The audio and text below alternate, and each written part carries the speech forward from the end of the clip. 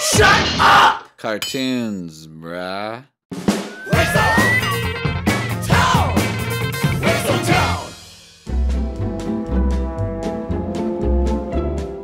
Gotta hand it to you. I thought you were crazy when you opened this place, Dipster. I thought this was just another one of your scams. As you can see, Doc, this is totally a legitimate business enterprise. Okay, well, now I don't know again.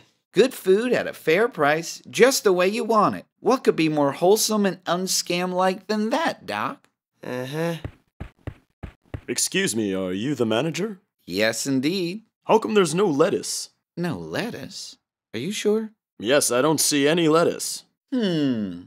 Well, maybe that's because you're in a cheeseburger restaurant, not a salad restaurant! Sir, I finished. Very nice. Now I'll just take this back into the inspection area to make sure that it is safe to eat. Mmm. Mr. Manager, I'm done. Did I do a good job?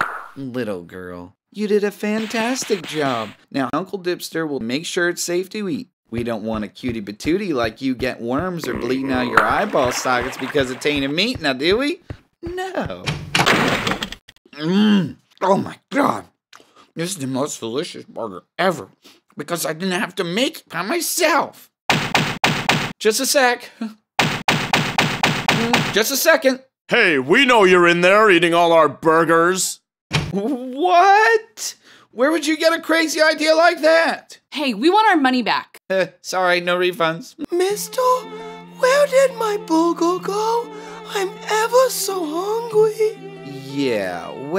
I warned you that if you didn't make it right, you would get worms. And guess what? You've got them. But I didn't even get to eat. Knock it off with the Cindy Brady routine. You people are playing the sympathy card to take advantage of an honest, hard-working, small businessman like myself. That's not true. We just want our food. We paid for it.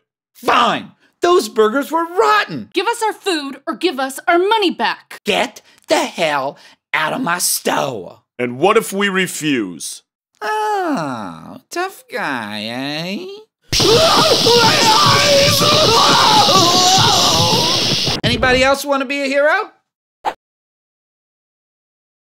All right, it's cool. Settle down. We're cool. Ow!